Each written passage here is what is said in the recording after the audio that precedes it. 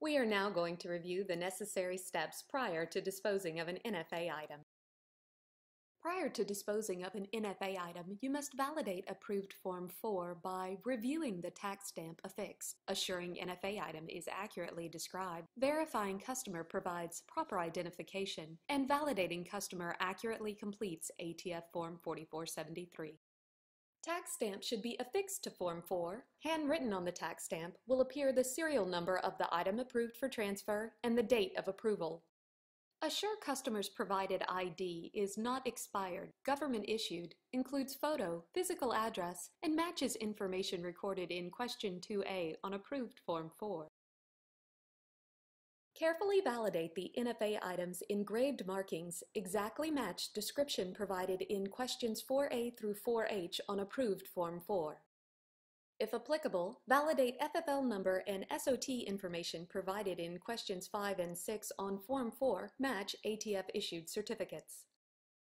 Validate ATF has indicated transfer is approved by marking Approved, dating, and signing Form 4 at the bottom of page 1.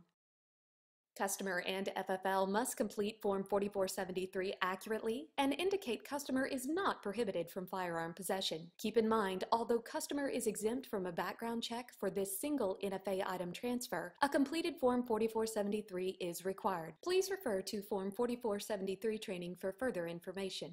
As a best practice recommendation, make a photocopy of the front page of all approved ATF Form 4s and attach to the corresponding Form 4473. File all ATF Form 4473s associated with NFA item dispositions in a separate filing system from other 4473s.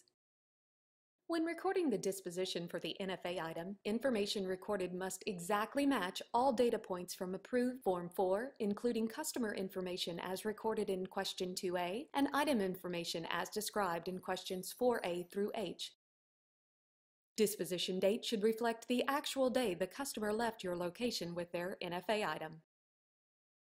It is highly recommended a final review of your checklist be completed by at least two team members prior to customer leaving premises with an NFA item.